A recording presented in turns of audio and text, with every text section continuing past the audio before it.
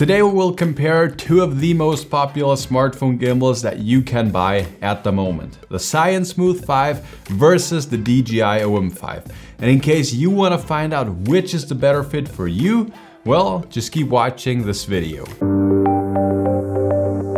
Hey, what's up guys? Julian from SmartphoneFilmmakingPro.com here, the ultimate online course about smartphone filmmaking. So today's video is very exciting. We will compare the Zhiyun Smooth 5 versus the DJI OM5. And these are pretty much the two most popular smartphone gimbals that you can buy at the moment. I have divided this comparison into seven different categories and the winner of each category will get a point. And at the end, you can decide for yourself which one is the better fit for yourself. And in case you have not subscribed yet, well then make sure to hit that subscribe button to not miss any of the future videos because more coverage on both gimbals is coming very soon but now let's start with the first category and that is the price and the packaging content. The DJI OM5 is a pretty expensive smartphone gimbal. It currently retails for about $160 depending on where you live. And for that you get a little carrying pouch, a USB to USB Type-C cable, a magnetic clamp, a little table tripod and of course the gimbal itself. On the other hand, the Zhiyun Smooth 5 retails for around about $140 and for that you get a much more sturdy carrying case, also a little table tripod, the same USB to USB Type-C cable and also of course the gimbal itself. For me personally, I feel the protection pouch of the IOM5 does not really add any protection to it. On the other hand, the protection case of the Smooth 5 is very huge, so it always depends on what fits your needs better.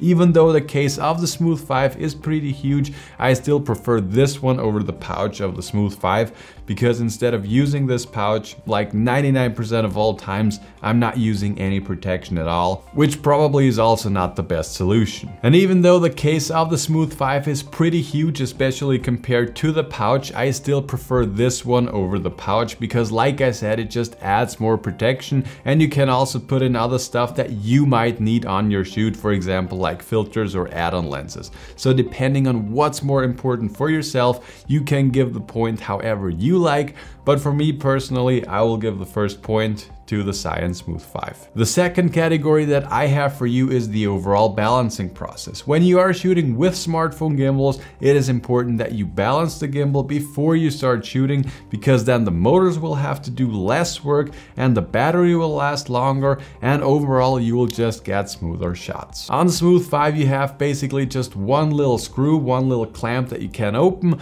then you can change the position from left to right depending on which phone you have and you do this until the phone stays in its position without falling over and that's basically it. So I feel like this is pretty easy and very user friendly. On the OM5 on the other hand, you have this little magnetic clamp that you just put onto your phone and then you just attach it to the gimbal, turn it on and that's basically it.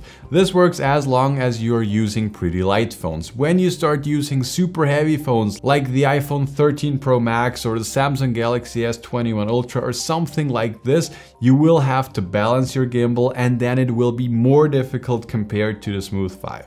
So I think it depends on what phone you have and in case you're using add-ons and so on. But overall, I will give this point to the OM5 because with light phones that most of you have anyway, you just have no balancing process at all and that is just super handy and super user friendly. The third category that I have for you is the stability when shooting with either of the gimbals. When you are holding both gimbals in your hand, you can feel that the Smooth 5 is just feeling way more sturdy and stable and just more solid overall. The OM5, especially if you have extended the pole, well, this is just not feeling solid at all. This is just very flimsy and lightweight, so you know, this does not feel that premium and that high quality at all. Sometimes lately when I was using the OM5 in colder weather conditions, I also felt like the motors are jittering sometimes and I even feel like the motors got worse compared to its predecessor, the OM4.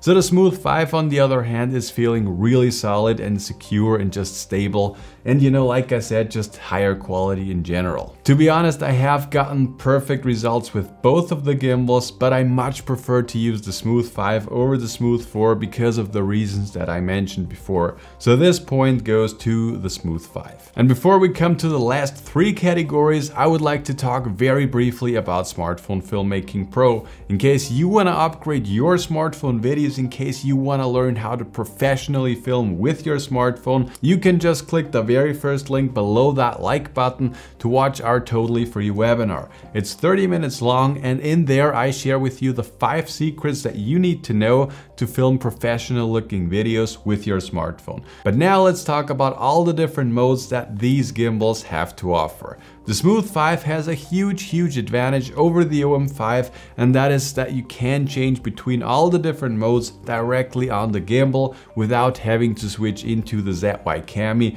or in this case the DJI Mimo app. With the Smooth 5 you can change on the gimbal itself between the pan and follow, the follow mode, the locked mode, the POV mode and also the vertex mode and that is just really really cool and this is way better on the Smooth 5 compared to what you have on the OM5. On the OM5 on the other hand, on the gimbal itself you can only change between two different modes and that is the standard follow mode that is by default always activated and by pressing this button at the back here you can access the locked mode and that is it. That's everything that you can access without using the DJI Mimo app. When you are in the DJI Mimo app, that by the way I do not like at all, you can change between several more modes. You can access basically the same modes that you also have on the Smooth 5, but you have to go into this camera app to access this and there is no workaround at all. So this category is an easy one. This clearly goes to the Smooth 5.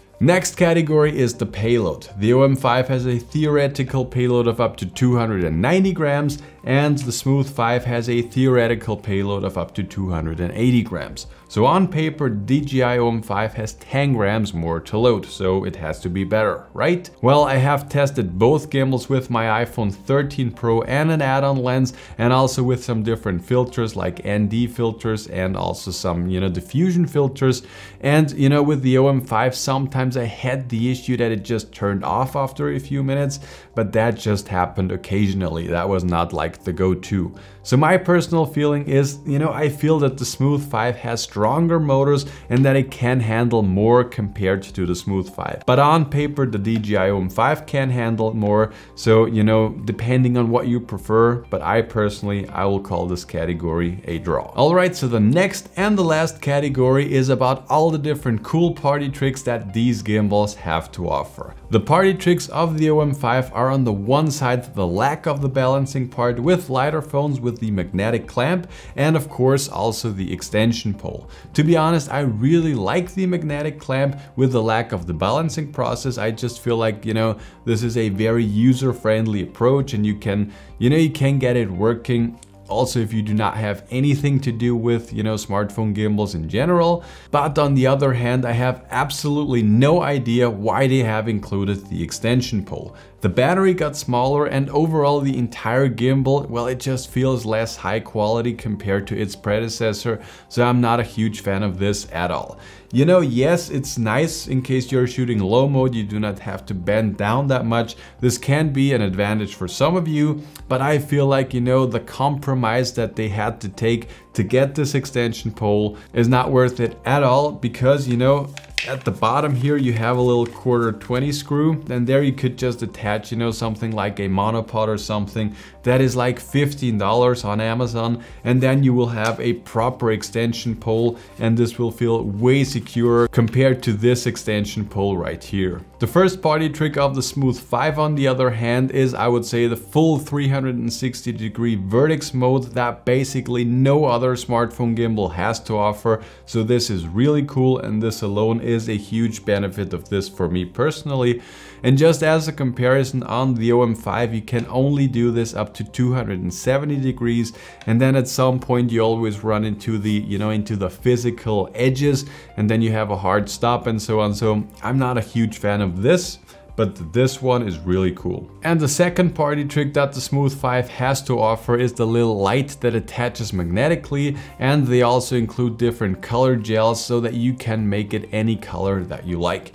To be honest, I'm not the biggest fan of this little light because it's just super tiny and it just won't add much to your image. But of course, it's better than nothing and I do like it. So I think everyone has to decide for himself or for herself which of these features are more important to themselves. For me personally, it always depends on what exactly I'm gonna be shooting. If I'm just, you know, quickly out there and shooting some things, you know, my family, friends, whatever, and I'm just using my phone, well then I love the flexibility and the easiness, you know, of just taking the clamp, putting it on my phone, turning it on and being ready to go. On the other hand, if I want to get more into it, if I want to get some cool shots, if I want to get, you know, the 360 degree into my shots, well, then the Smooth 5 is just better. So I will call this category a draw because it just depends on what I'm going for.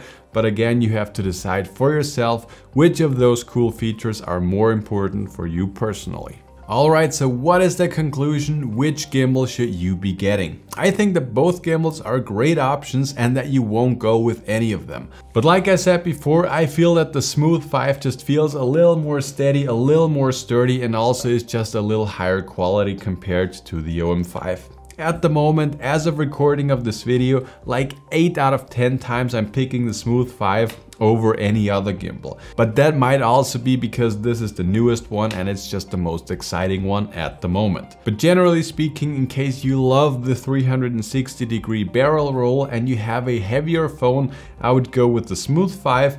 And in case you have a lighter phone and you do not care about the 360 degree barrel roll, well then the Smooth 5 or maybe even the Smooth 4 will be also a great option for you. But that's it for this video. I hope you liked it. I hope you enjoyed it. And as always, if you guys have any further questions, make sure to let me know and I'll talk to you guys in the next one.